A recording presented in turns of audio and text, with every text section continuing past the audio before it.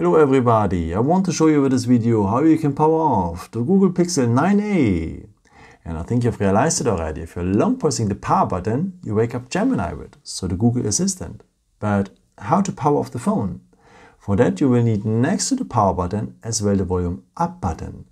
Press these both buttons just for short together and you're directly at the power off menu. So just confirm a power off and the phone will shut down. There's a second way to power off the phone. For that, just scroll down here, scroll down a second time so that we're here at the control center. And a part of the control center is here the symbol to power off the phone. No? Just tap here, then we're at the power off menu, just confirm a power off, and the phone will shut down. But there's a way to set up the power button here as a real power button. For that, just scroll down here, scroll down a second time, tap down here on the symbol for the settings.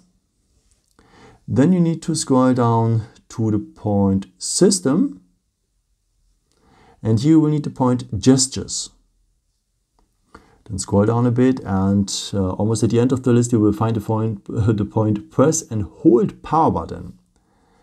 And you can choose what should happen if you press and hold the power button. Actually we're waking up the digital assistant, so Gemini with, but at the future we want to have the power off menu. So just tap here on power menu and that means whenever we long press now the power button we are directly at the power off menu. Just confirm on power off and the phone will turn off.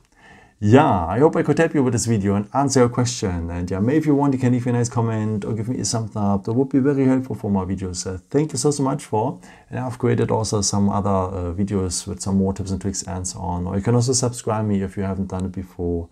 Thank you so, so much for all your support. And yeah, maybe until next time. Ciao.